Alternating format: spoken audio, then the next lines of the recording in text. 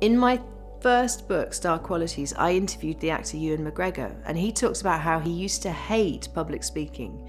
And he said the reason he hated it was because he rushed as a speaker. He was like a runaway train.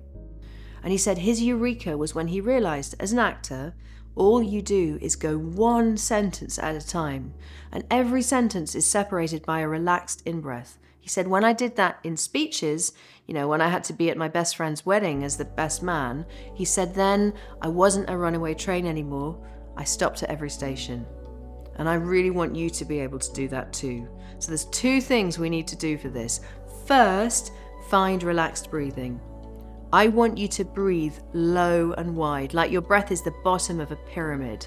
So if you put your hands on your tummy right now, and I want you to feel that as you breathe in through the nose, your tummy moves away from your spine.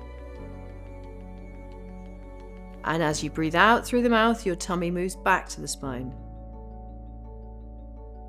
As you breathe in through the nose, your tummy moves away from the spine.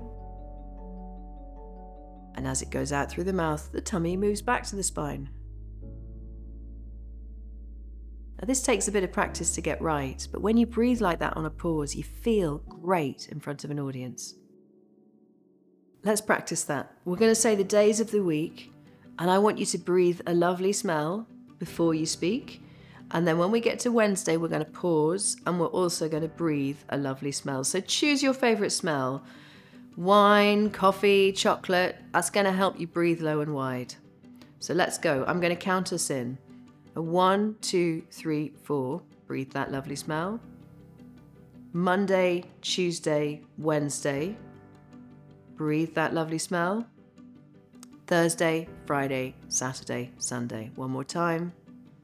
Breathe that lovely smell. Monday, Tuesday, Wednesday.